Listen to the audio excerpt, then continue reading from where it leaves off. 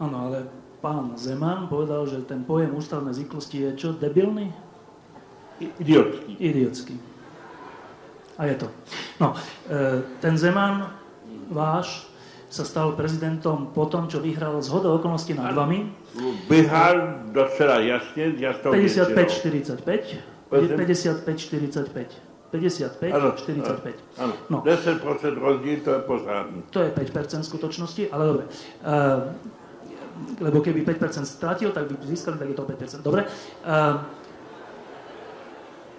ten problém je tento, že vy ste, dlhý čas to bolo také, že uvidí sa, možno aj vyhráte, a potom ste povedali to, čo podľa niektorých ste nemali povedať. Že Česi, alebo Československo vtedy, sa voči svojim Nemcom v mnohých prípadoch zachovali neludsky. Ano, je to pravda. Možno vás to stálo prezidentský úrad. Stálo to za a- to? Ano a kvůli tomu člověk má lhát, zamlčet pravdu. To přece...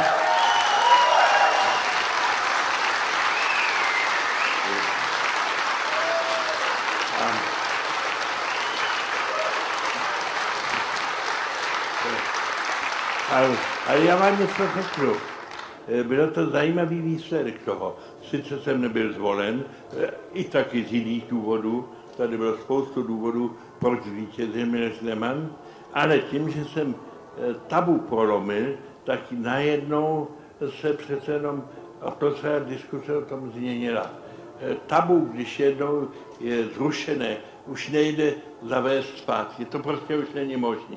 A to se teď stalo, a když se podíváte na velmi úspěšnou návštěvu potom premiéra Nečase Mnichově, diskusy v českých novinách a tak dále, prostě to, myslím, pomohlo, abychom se vyrovnali s naší vlastní minulostí. My u nás na Slovensku jsme bohužel v 20. století všichni dělali a v celé Evropě. Jenom Islandiané ne, ale ty byli daleko na Ostravě.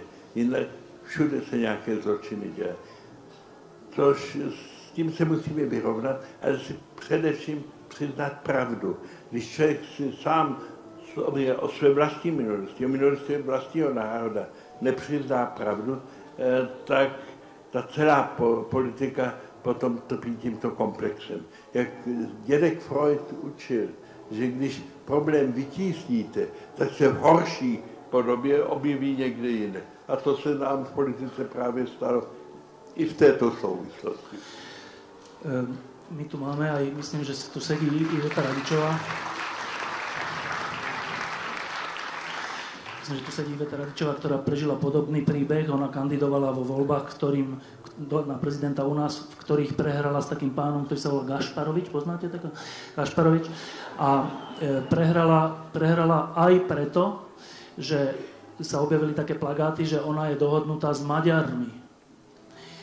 No, u nás na Slovensku je, je keď poviete, že, niek- že ste kamoš s Maďarmi, tak prehrávate prezidentské voľby, hoci to ani nebola pravda, že bola dohodnutá.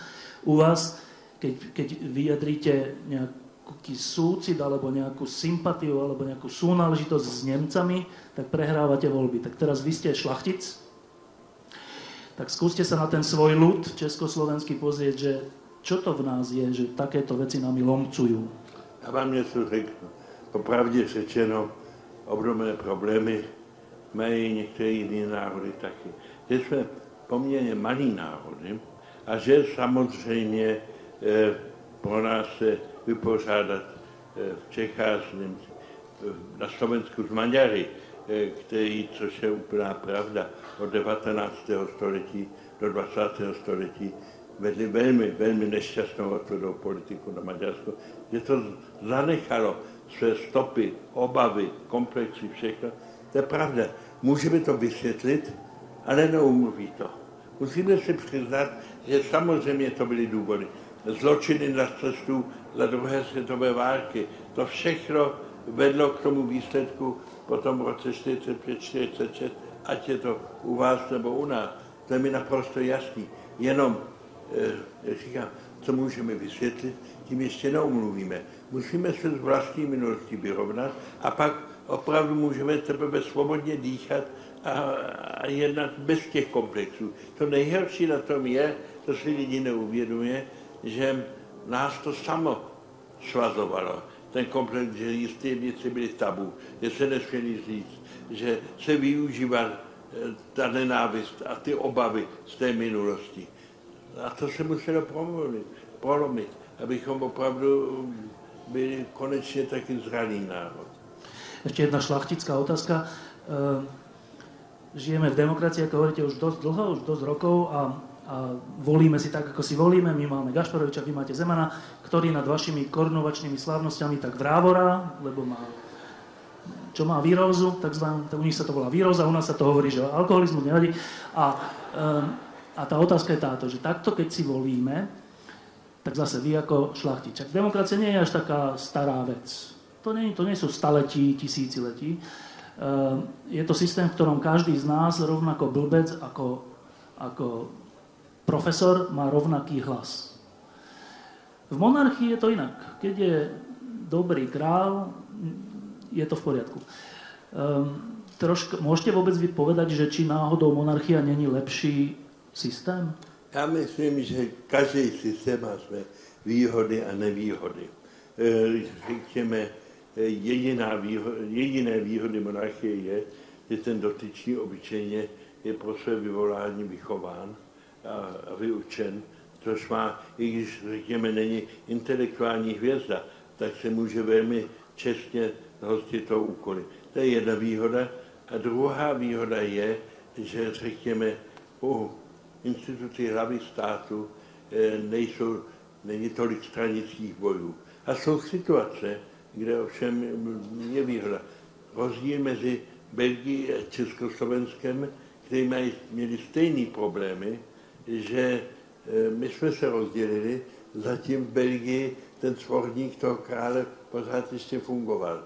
To, ale na, na druhé straně musíme přiznat, že i králové jsou normální lidi se svými slabostmi, jsou inteligentnější a blbější, e, hodnější a zločinnější to jako u každého jiného člověka.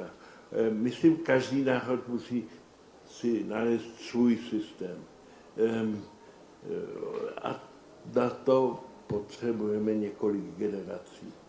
Myslím, ta stará historka, kterou asi znáte, jak Jan Masaryk, když byl vyslanec v Londýně, se jednoho čelného anglického politika ptal, řekněte mi, jak to děláte.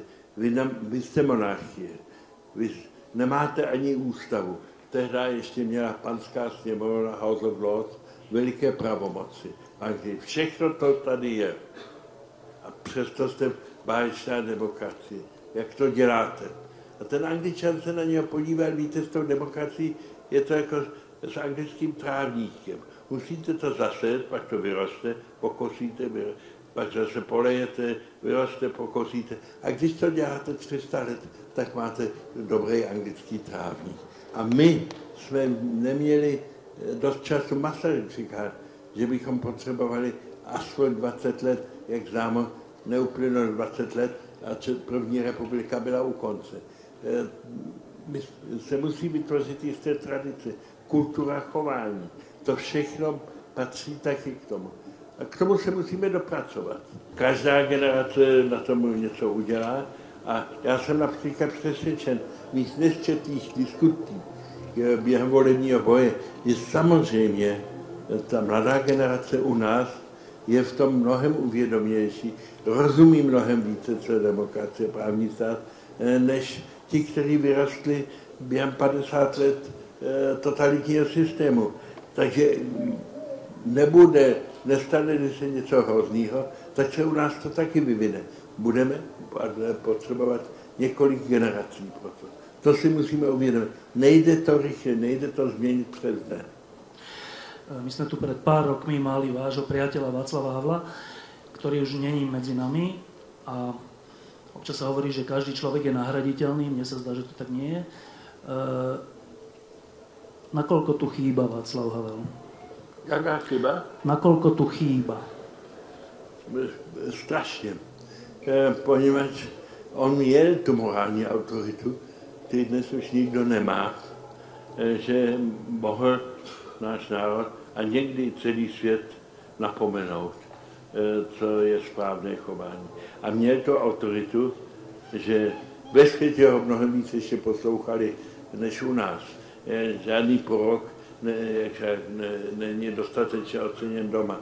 Ale když člověk viděl, a já jsem byl toho svědkem, jak mu pozorně naslouchali větší státníci celého světa, a to byl Kohl, a to byl Weizsäcker, a to byl Bill Clinton, a to byl Bush a tak dále, tak víme, co morální autorita Václava Havla znamenala. A to teď chybí. My jsme prostě se stali bez něho dosti nezajímavý malý národ uprostřed Evropy. Dokovat od žil jsme vyčnívali.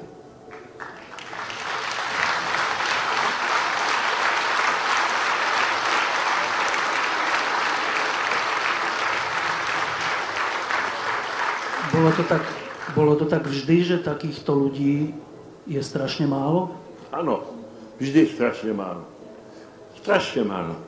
Ale to neznamená, že my máme kvůli tomu vzdát boj.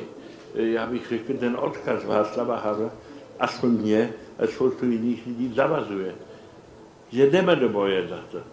A nebudeme to tak, tak dobře a tak inteligentně a tak moudře, jako Václav Havel, ale pokusíme se, teď naše síly stačí. A to je to důležité. On byl taky v tom náš příklad, že nikdy se nevzdá. To je to důležité. Nevzdát se, jít do boje. Dál.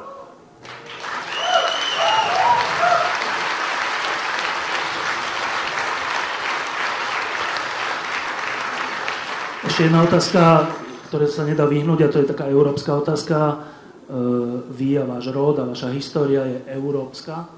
A my sa tu tak boríme s tým, že aký vlastne máme mať postoj. Že Európa áno, ale súčasne čo tie dlhy a čo to Grécko a čo eurovaly a čo... Eh, vy ako Európan stáročný eh, vidíte dnešnú Európu ako? No, samozřejmě je s veľkými slabostmi. Veľkými slabostmi. Vždycky je pro mě pozoruhodné, eh, že ti politici, kteří berou dvěma rukami, jezdí do Brusel a žádají tam nejrůznější, někdy nesmyslný projekty, miliony a někdy do dokonce dostávají ty různý programy. Když si, když si někdo jednou přečetl, kolik peněz na Slovensko nebo do České republiky během posledních let z evropských fondů přišlo, eh, tak eh, by opravdu asi změnil svůj názor.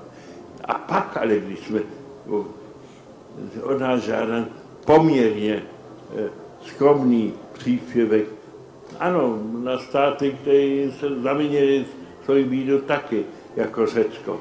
Nicméně jsme úplně bez viny, jak jsme se zababrali do toho komunistického režimu, nebo jsme se taky na tom podíleli. My jsme pouze nevinátka, nebo jsme se na tom podíleli. A tudíž Řecko taky. Já znám Řecko, tam mají hroznou toho politickou třídu, ale normální řecký rybář, sedlák a všechno stejný jako u nás. Ten potřebuje pomoc. A to bychom neměli těmto odmítat. Tedy ne, ne brát, ale když se nás zeptají, abychom taky něco přispěli, potom říci ne, je pro mě nemorální postoj.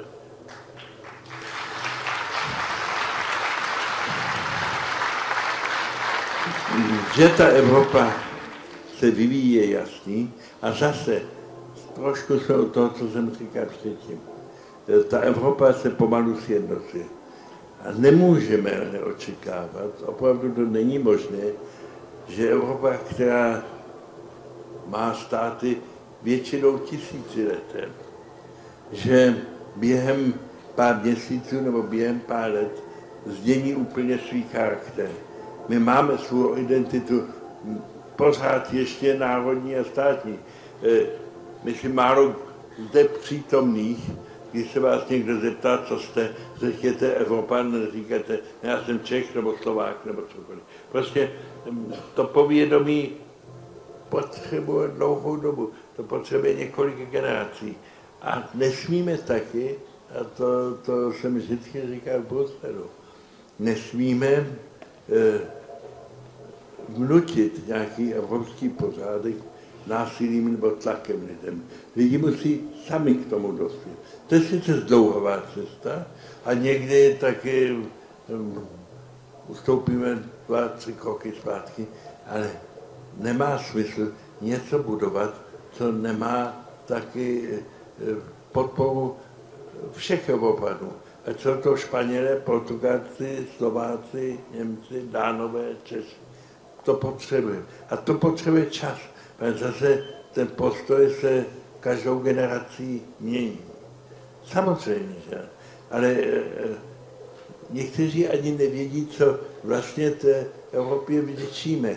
Každý mladý muž nebo mladá žena dneska buď stát jenom s bačůškem, měl možnost procestovat celou Evropu, vidět spoustu věcí.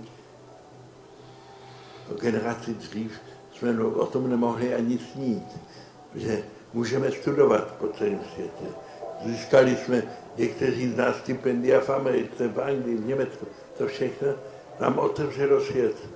A dneska už to považujeme za samozřejmé, ale musíme si uvědomit, že to vděčíme opravdu to je, toho propojení, větší propojení Evropy, toho sústání Evropy v Evropské unii. Uh my sme tu pred vami mali hostia, ktorý sa volá Robert Bezák a teraz sa vás opýtam ako českého, nemeckého, neviem akého katolíka, čo si o tej, o jeho kauze myslíte? Je, ano, je pravda, já jsem přesvědčený katolík, ale tudíž taky vím, že církev to je společnost lidí, že katolíci i kněží nejsou o nic lepší, ale taky o nic horší než ostatní lidé. A tudíž církvy pobíhají taky intriky, taky boj o prachy někdy, e, vybíjí se žádost, ješitost. Všechny tyto slabosti jsou taky samozřejmě v církvi, nebo je to společnost lidí. E, to, tedy takové případy se děli několikrát v dějinách církve. A musíme si uvědomit taky, že Vatikán e, to je úřednické těleso 2000 let staré. A kdo, například jako já, jako minister, se pokusil reformovat pouze malé ministerstvo zahraničí České republiky a zjistil, na jaké překážky nějaké gumové zdi, že všichni se proti tomu postaví, vlastně něco změnil, jak těžké je tam provést reform. No, bodeď ve Vatikáně, kde ta 2000 letá tradice a se ty věci usadily po dlouhá léta. E, reformovat Vatikán je nutný, ale vím, že to bude je strašně těžký úkol. Já říkám, pokuste se reformovat jenom obecní úřad a pak přijdete a pak si představte, že musíte reformovat Vatikán. Posledná Posledná moja otázka a potom tu máme ešte jedno prekvapenie, tak potom, keď sa rozlúčime s kniežaťom, tak ešte neodchádzajte chvíľku. Uh, vy ste do roku 89 podporovali českých a slovenských disidentov, podporovali ste slobodu slova, zastávali ste sa väznených a nespravodlivo stíhaných. A mladší ľudia e, môžu mať pocit, že to bolo vtedy taká dobrodružná doba, kde sa takéto veci dali, ale že dneska už sme v pohode. Líši sa tá doba v tomto, v potrebe nejakej pomoci, solidarity až hrdinstva od dnešnej doby? No, samozřejmě tehdy to bylo tvrdší a ty lidi. Ne já, já jsem žil v pohodě v Rakousku a jenom jsem jezdil do naší zemí. Já jsem eh, s podprušením mě se eh, žilo jako praseti v žitě, kde nic nechybělo. Ti, kteří tady se proti tomu postavili, to byli ty opravdu hrdinové. Bylo jich dost na Slovensku i v České republice, těm jsem se snažil pomáhat. Ty byli v ohrožení vězení, to je pravda, vyloučení z práce a tak dále to všechno bylo předvedete od dnešní, od dnešní doby. Jenom jedna věc zůstává stejná. Pan člověk je člověk, politik je politik a vždycky tíhne k moci a chce mít moci. že svoboda a demokracie jsou vždy v ohrožení. Vždy se najde někdo, kdo by to chtěl změnit. Prospěch své vlastní moci. A, to, a jestli e, to pod heslem nastráž nebo čes práci nebo jiným, to je docela nezajímavý. Zajímavý je to, že člověk je slabý, na jedné straně jeden chce víc moci, uchopí se, a druhý se potom tomu pokloní. A proti tomu musíme bojovat, tomu musíme čelit, pač nemůžeme očekávat, že demokracie, svoboda a právní stát nám spadne z nebe. Nebo jak ti, kteří mysleli, že to pro nás zařídí Brusel. Pitomost. Brusel v tom nic nezařídí. To si musíme udělat sami. A když si sami neuděláme v našich státech pořádek, tak právě na to doplatíme. Ako vždy čarovný.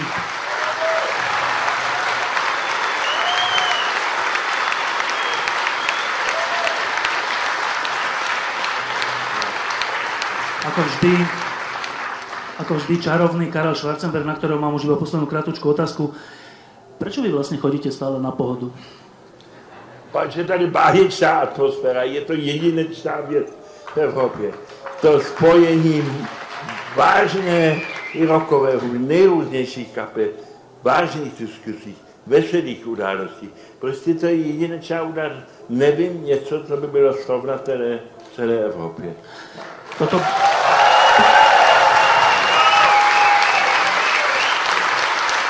Ja sa už len, ja sa už len ja sa už len pred tým milým ďalším prekvapením e, rozlúčim. Toto bol náš Karel Schwarzenberg.